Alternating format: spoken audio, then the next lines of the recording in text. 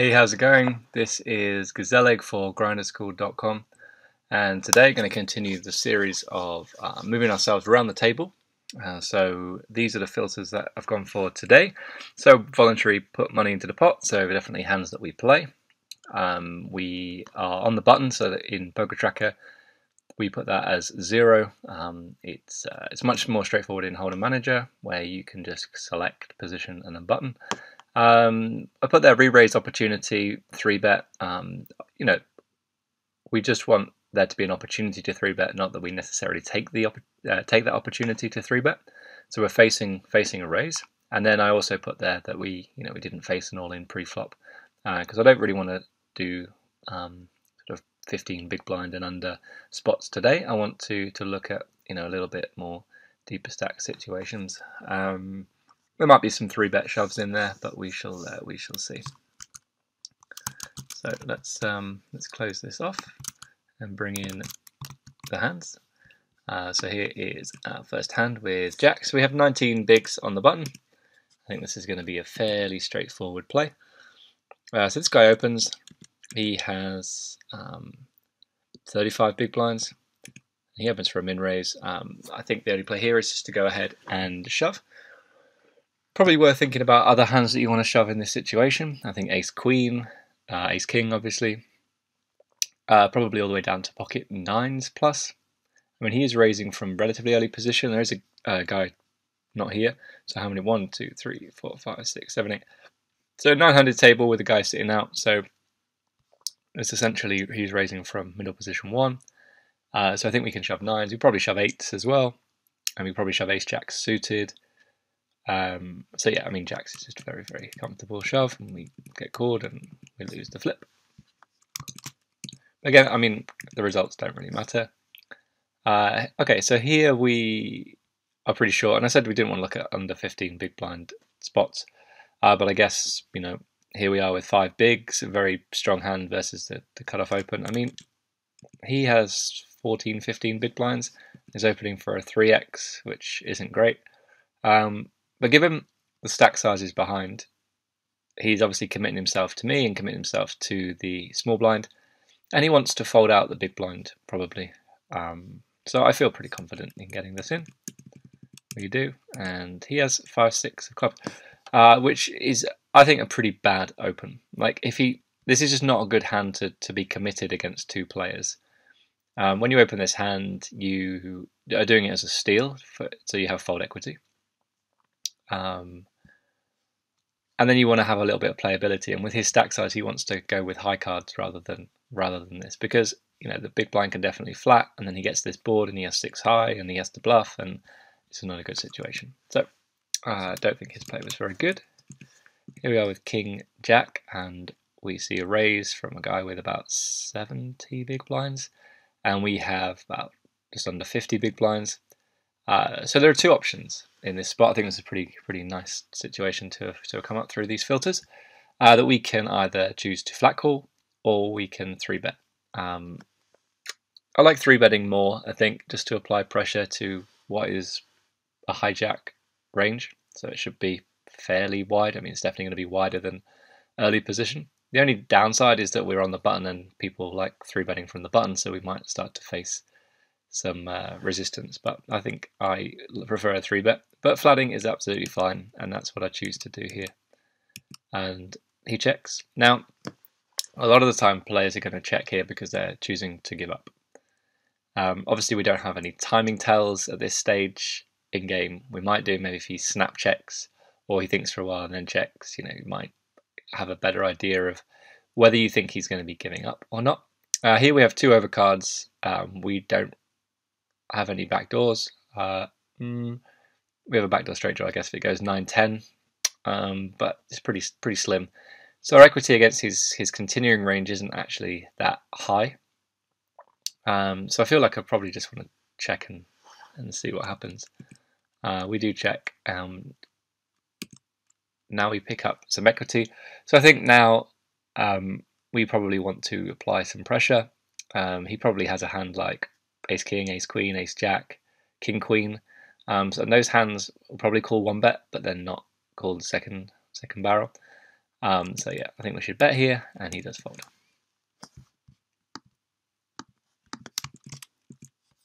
Okay, so there's the next spot then. Let's just take the HUD off.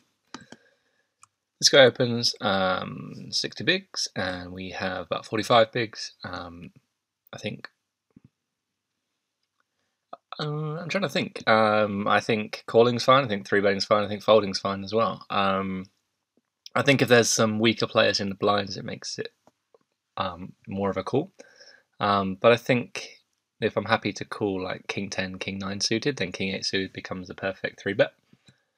So that's what I choose to do, and he folds. So just to kind of um, reiterate that point, if you think about what your calling range is in this spot, and then we just go a little bit lower than that to find some suitable bluffs, and a suited king, you know, can still flop fairly well. We can uh, we can use that as as a bluff. and I thought, you know, we'd got through the first few hands without the HUD keeping uh, popping up, but unfortunately not to be. Uh, this guy opens, and we have Jack 10 suited here. Um, did we call? Yeah. Okay. Uh, I don't like calling here. We have under 20 bigs. We don't really want to just speculate now. Uh, we're putting in a large chunk of our stack with a speculative hand. Um, I actually think that shoving is going to be far better than calling, and then um, you know, fold, we could just fold as well. So I think I'm going to run this spot into uh, Hold'em Resources Calculator, we can see how wide we uh, this guy has to be opening for us this to be a shove, uh, and then we can. Um, I mean, we've already worked out that this. I just don't think it's a, a, profitable call. I mean, these two players can shove, and then what do we do? You know, we've given away 343 chips, which is you know a fair amount of our stack. So I'm going to load this into HRC, and we can investigate it a little bit more. Okay, so uh, what I've done here is I've clicked on advanced hand, so we get this advanced hand setup. And then I'm going to paste the hand in here. And then I'm going to click next. And we can put in here 343. Believe that's how much you made it. Yep, 343. Now you can also just put like two point whatever big big blinds in here as well, uh, or you can do the exact amount. So we, we've got open and shove, and then um, one, two, three, four folds. So, I'm hoping this is going to work um, because we we've got the player names on here at the moment. Um, so we'll just uh, we'll just see see what happens. Hopefully this is going to be the hijack that opens. There's a hijack button, cut, uh, hijack cutoff button, small blind that works. Okay, um, so he, if he opens what he should be opening, then we can see the Jack 10 suited is a shove. Now when I say what he should be opening, that's what he should be opening if nobody ever flats. If the game is only ever played pre-flop and we, you know, just get chips in or we fold. Now we know that poker doesn't really work like that. Um, so we can model it uh, for times when people are flat and that's absolutely fine. Um, but for this one, because we're looking to shove, we can actually you know remove the the the um, part of the scenario where we where we end up uh, flatting or anybody else flats. So let's say that he's opening, let's say 20% instead. Um, and I'm going to go with something like this to begin with. Um, and we're going to see how Jack 10 suited uh, is playing against that range. And if Jack 10 suited isn't a shove, then what sort of hands can we shove in this situation? And it's always good to err on the side of caution, uh, so to sort of go with the tighter range to begin with. So you can see Jack 10 suited is a profitable shove in this spot, and we can also shove pocket fives. Pocket four is just slightly negative, um, but you can see it's included here. Um, we include it as part of a, I guess, a GTO strategy, but it's a mixed uh, between shoving and folding. Um, so yeah, I mean, we can shove ace jack off, we can shove king 10 suited, queen 10 suited, jack 10 suited, pocket fives, ace 8 suited, um, and king queen off as well. You can see that king queen off and ace 8 suited not particularly profitable, um, but all the others are very, very profitable. So then we go, okay, well, I'm not sure this guy is opening this wide. Um, you know, let's let's start to to remove some of the hands that possibly he chooses to fold. Uh, so maybe we go down to 16%. And we see the range of hands that we can shove this time. So before it was 11.8%. And now we're down to 9.9%. And you can see the Jack 10 suited is still pretty comfortable, pretty pretty easy to go ahead and shove. And then if we do shove, he needs to call off um, with this range, so like sevens plus, ace jack suited, king queen suited. Um, so I think, uh, yeah, I think we can see um, that jack 10 suited. Okay, so it's included in like you're only supposed to shove it 24% of the time, but I mean that's against a very tight range, and we've already seen that it goes slightly looser than this, and jack 10 suited is is very very profitable. So yeah, I think we should have shoved here rather than call. So I think that's a mistake. And then yeah, we now see, okay, so he checks the flop. And then he decides to fire here. So he could definitely have a jack, like ace jack, king jack, taking this line. He could just have an overpair because we've flatted off this stack size. Um, obviously can't fold at this stage. Um, I think we can probably fold now. But we are going to have aces and kings to flat in this spot. So it's not like we are folding too much.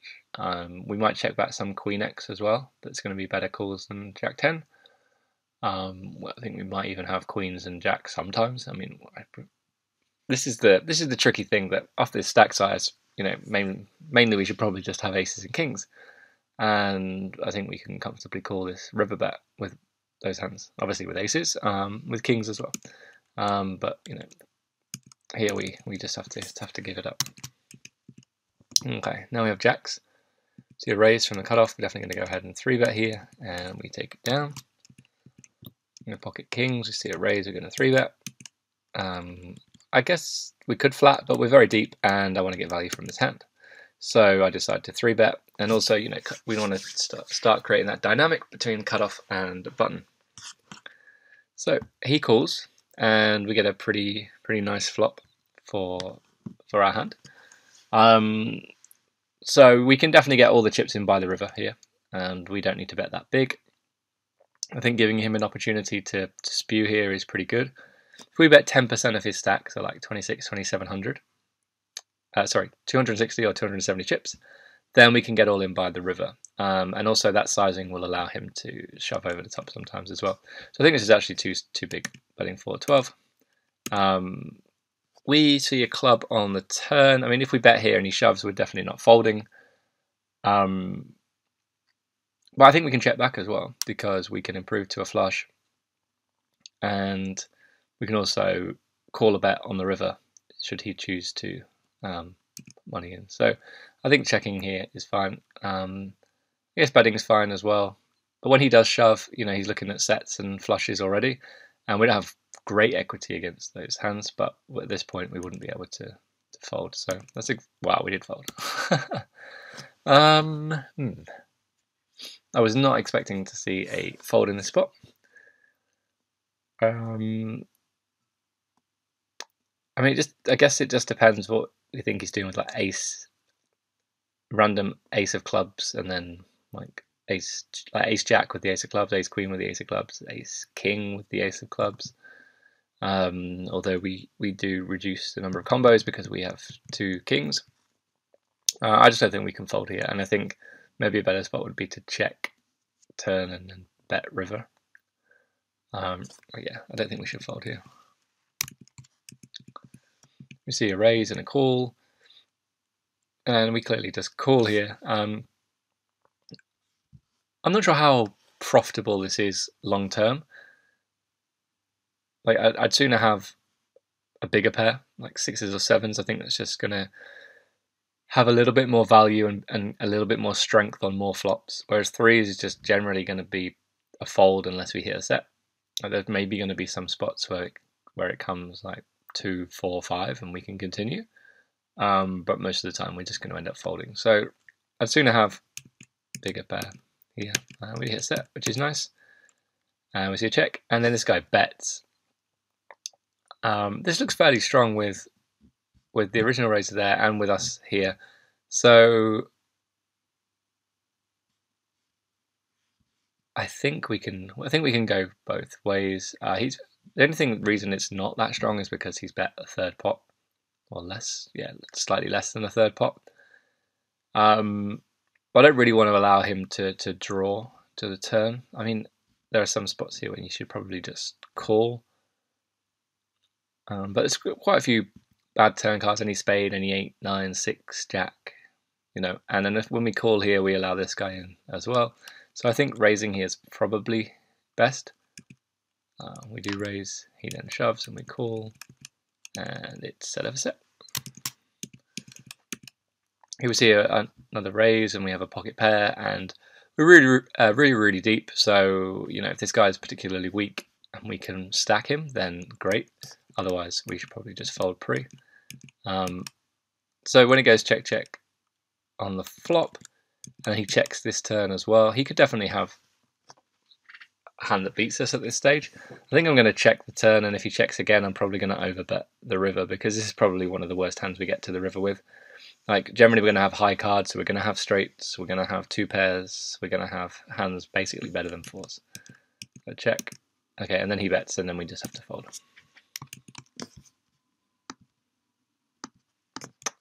Okay, next one then. Uh, we have pocket sixes, and I think this is probably a better hand to call with. Um, we're in late position.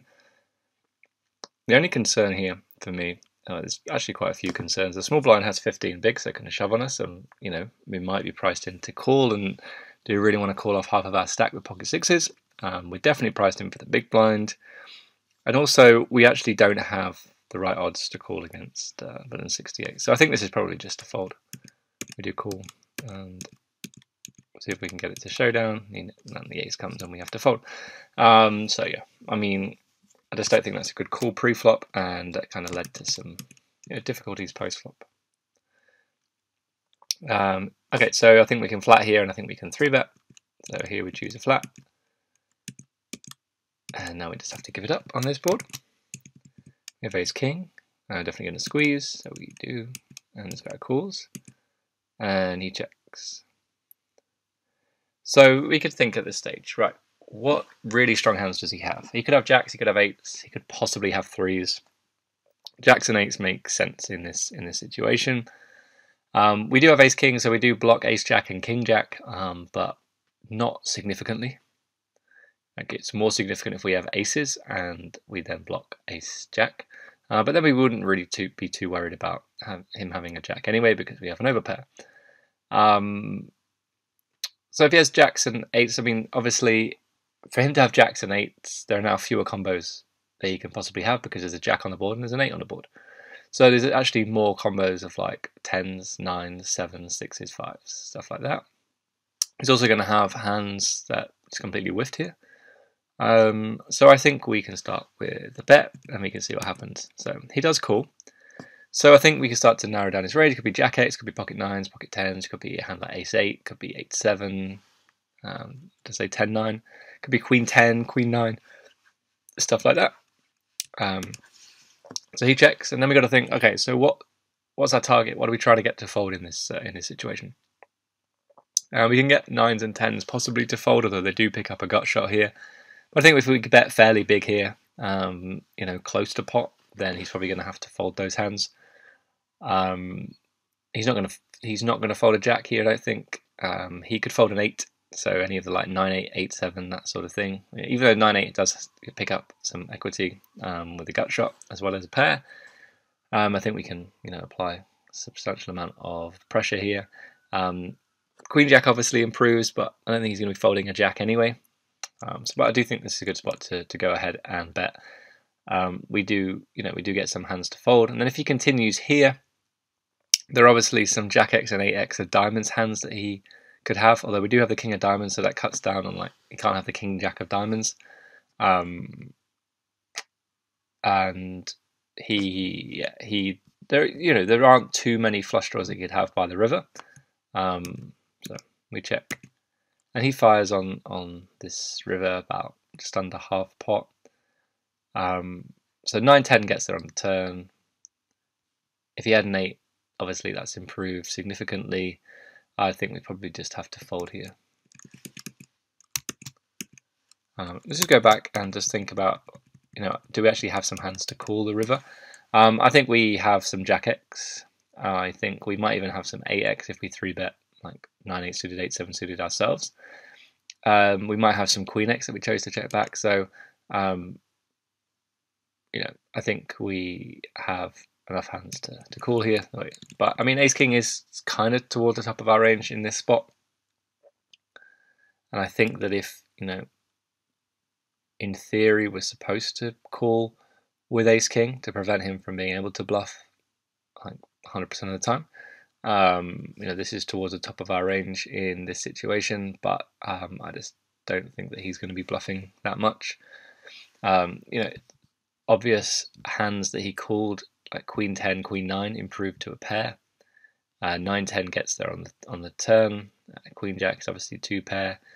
He can have possibly Ace Queen that you can value bet. Um, so it's not like um, too many bluffs that he could actually have. So move on to the next one. Raise a call, and here is an 8-7 suited. Um, I imagine that I just used flat. Okay, especially now it's like we couldn't guarantee it's going to go four ways.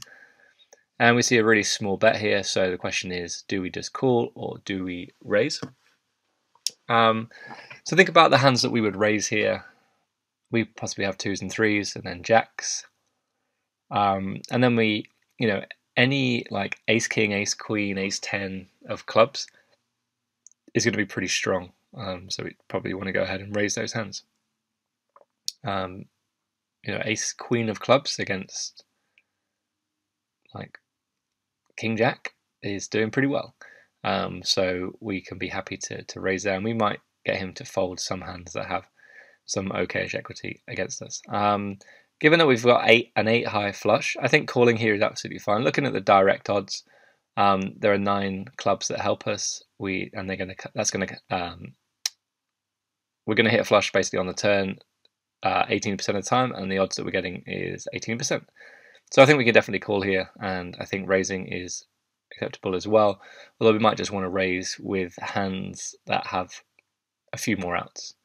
Um, and really push that equity now. So like ace, queen of clubs, or 5-4, or ace-4, ace-5 of clubs. That has the gut shot and the overcard and um, the flush draw. So we call, we hit the flush on the turn and he checks.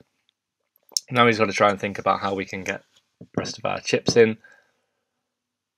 Um, so there's we have 6600 and there's 3000 in the middle. So if we take 3000 from our stack size, we're left with 3600. We divide that by 3, that equals 1200. So we can bet 1200 on the turn, and then we can jam for pot on the river.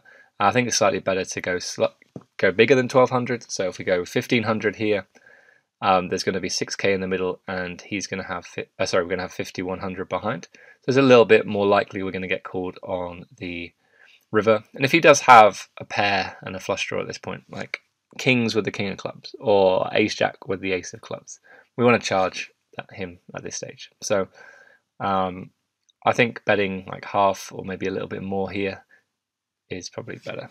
So we do bet half, he calls, he checks. Uh, I mean, the board does pair, it's not great, uh, but I think we should just go ahead and rip in here. And he calls and he just has a pair of jacks, so it's nice, uh, nice situation.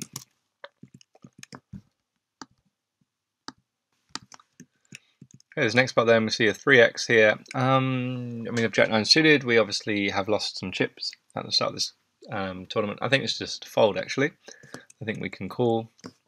It's costing us more than 10% of our stack, and I, yeah, we only win like 900 chips when we actually hit. So I don't like this. Um, and then we get this rate, the squeeze, and then a call. We're getting fairly decent odds. I mean, let's just go here. Wow. So we're getting 1.9 to 1 on 34% on the call. And when it comes back round to us, we're getting 3.6 to 1, 22% on a call. Uh, but then we're committing even more chips. So I think this is just fold pre. I think that was pretty poor. Okay, so you see a 3x and a call. Definitely going to go ahead and squeeze. This guy calls, and this guy folds. So his this guy's range can include um, decent pairs. Um, I think he's probably going to four bet aces and kings, but you never know. Um, but he could have like jacks, tens, nines, eight, seven, sixes. He could have ace queen suited, ace jack suited, king queen suited, queen jack suited, jack ten suited, and then maybe a little bit wider than that. So he checks. Now he's obviously not going to fold an overpair on this board. Um, and we don't have many chips left behind. So I think checking here is absolutely fine. See if we can hit a club and improve. Uh, but also betting here, and then you know if the club comes on the turn, then we can just rip the turn. That would be absolutely fine. Uh, we can get him to fold like queen jacks and jack tens and stuff like that. Um, we can apply pressure to sixes, sevens, and eights, especially by betting flop and then jamming turn. So I think betting the flop it would be absolutely fine. And um, we hit the king on the turn, and he leads for one ninth pot. Um, so I think raising here or calling is absolutely fine. We decide to raise, and he just folds. We have another Jack 9 suited with lots more chips behind. I think this is a much better call in this situation. And we flop middle pair with a backdoor flush draw and a backdoor straight draw, so going to call. He fires again. Um, a little bit scary, but he can definitely be doing this with some clubs, with some straight draws, um, just with two overs. So we call again. Um, and the queen might just slow him down actually. But he fires again. And I'm thinking at this stage, do we have many better hands? Like we have tens and jacks, we have king queen, ace queen, queen jack. We obviously have pocket nines, pocket five sometimes. So probably quite a few hands. I mean, we might, might have ace nine suited here. Ace nine is obviously going to be better than jack nine. Um, but I mean, if we're bluff catching, then it's pretty much the same kind of hand, uh, except that we block or don't block part of his bluffing range. Now, we do have a jack in our hand which blocks like his jack 10 suited, so you can't have jack 10 of spades. Um, but we don't block any clubs, so I do think this is a you know, a pretty tough spot. I just don't think people are going to three barrel here, um, especially when we could easily have a queen or a boat. Um, so I think we can fold here. Um, but if you know against a very competent player, we probably have to call there. We see a raise, and I think three betting here is good, or we can just flat. So we choose to flat this time. And we have two overcards, a backdoor flush draw, and a gut shot, so we're not going anywhere. And then it goes check check on the turn. So given that we have the ace of hearts, it's very tough for our opponents to have, well, it's impossible for them to have the ace x of hearts. Um, so we reduce the number of combinations of hearts that they can they can possibly have. The small blind shouldn't be defending um, or calling here in a small blind with like low suited connectors. So he could, you know, he could definitely have King X, Queen X, Jack X of um, of hearts, like Jack 10, King 10, Queen 10, Queen Jack, stuff like that. Um, the King's obviously pretty good for him, but it also means he's not going to fold on the turn. Right, but when we see a check from villain 103, he could definitely have a king here, uh, he could also just have some some give ups. Um, I think that if we bet the turn, we're probably just going to have to rip the river as well. Uh, so I don't know what I chose to do. I did decide to bet the turn, and they both fold. Okay, we have the aces. Um, we're definitely going to go ahead and squeeze, which we do, and only the pre-flop caller calls. So looking at this, the stack to pot ratio now is about two and a half and we will just not be folding on many flops. Um, this looks fairly reasonable, so we just want to give an opportunity to put money in bad. And again, we could make a bet of 750 here and know that we can get in by the river. Uh, but I think he's going to have some king queens and queen jacks and uh, queen tens, ace, possibly ace queen. I mean, no, we have two aces. You know, he's going to have some spades, um, yeah, and king x and jack x, like we said. So I think this looks absolutely reasonable and defaults. We have ace king now, definitely going to go ahead and squeeze. Um, so we're just going to jam here. This guy has like 20 bigs, this guy somehow flattened with 8 bigs. Maybe a little bit scary, but you know, uh, what what are you going to do? You're not going to fold ace king, so we shove. Uh, he calls, and he calls, and okay, fair enough. Uh, so this, yeah, we shouldn't have been scared of this guy, and this guy getting it in as well seems pretty bad. He needs 36% equity against our range. Um, he's going to be behind a ton of the time against ace king, ace queen, ace jack suited, and then he's going to be flip like well he's going to have a 30% equity against pairs, so this doesn't seem very good. And then his guy's overcall is just well whatever. Pocket jacks then. Um,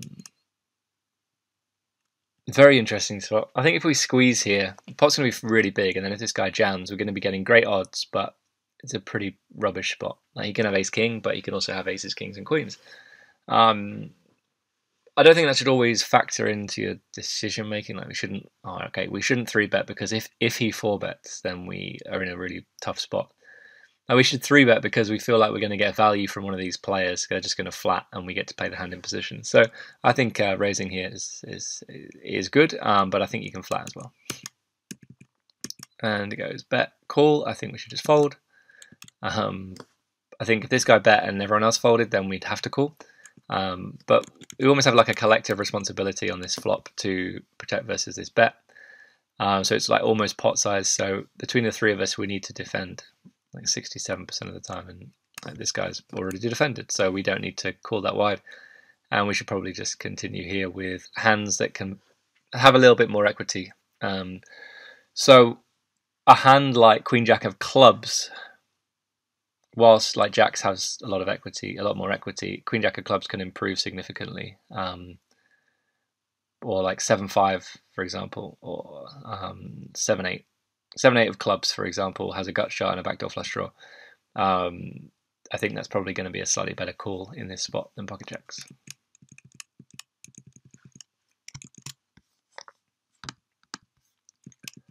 Queen nine, then we decide to limp, and I can't remember this hand. This guy raises, and we just fold. I think that's okay. I think we probably get away with um, calling the raise though in position. Although this guy's very short. This looks like a final table situation. Um, so I'm going to guess that you know we just didn't want to really get into a spot. Um, yeah, I mean we're not getting great odds. It's still to 30k to call, but we are in position. Uh, but if we call 30k and this guy shoves, then it's just rubbish. So it's something to think about. Uh, this guy raises. We have pocket tens, and I just decide to call. Again, this is a final table. I think it's the same same tournament. Um, so before it was three hand handed with three left, then and then now we got it with four handed. Um, I don't really want to bust before these two, but tens is really really strong hand. What I don't want to do here is three bet and he jams and have to call it off with tens. So my only play here, well, it's two plays. We can either shove or we can just call. So I just chose to call, and we get a pretty nice flop. So we should bet here, and we get jammed on. I mean, at this stage, with top set, I think we just have to go with it. Um, like we didn't pre-flop want to get into a flip, but now that we have top set, I think we can get it in and be comfortable. And pretty nice turn card for us, and uh, we double up.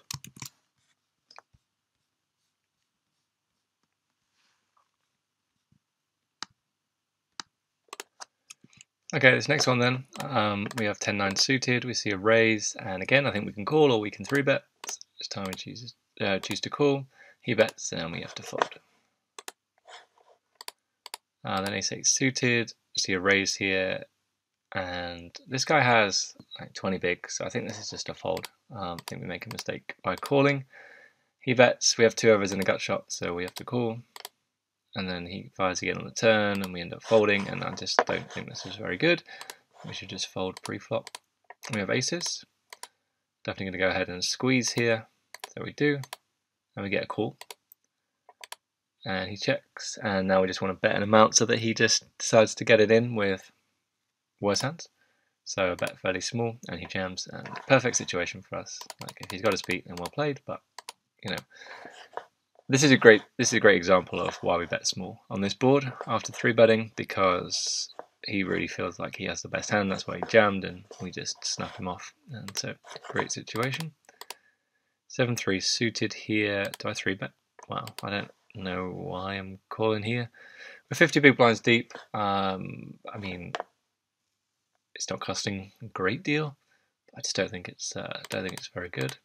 But this might have been a misclick, and we end up calling, and then I guess we have to bluff at some point. I actually hit the seven, but it's probably one of the worst hands we get to this river with. So we probably should turn our hand into a bluff. And we check, and he is king jack. Yeah, I just don't understand this hand, why he played it like this. And now we've ace queen, we're just going to go ahead and shove with six bigs. Not too much to talk about there. And we win. And now we have aces. We see a raise. We're definitely go ahead and three bet, which we do. And he calls. Now we do have the ace of clubs here, so we're not too worried about a club coming off on the turn, so we could potentially check here. Um, but I think betting's good as well. He calls. So when he calls, he has maybe some sets, like jacks, fives, and sixes. He has some straight draws like 8 7 that's just improved to um, a pair and a draw. He might have 7 4 suited, or it's unlikely. I mean, yeah, very unlikely.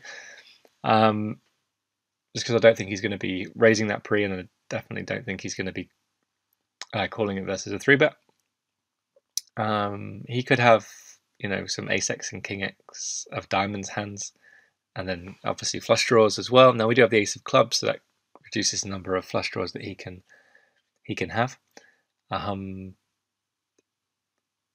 I mean, ideally in this situation, we want him to have like king jack or queen jack. And so if we think about that's the kind of hand he has, then we bet an amount such that we're going to get value on the turn from that hand and then value on the river. So I think betting half pot and then jamming river seems fine. And we bet even smaller than that, um, which is fine and there's now 4,000 in the middle, we've got 3,000 behind. If he jams this river, like that's pretty gross because I think sets would play that way, and I think Queen Jack would play that way as well. Um, but now we just have to jam, and then he folds. So, I mean,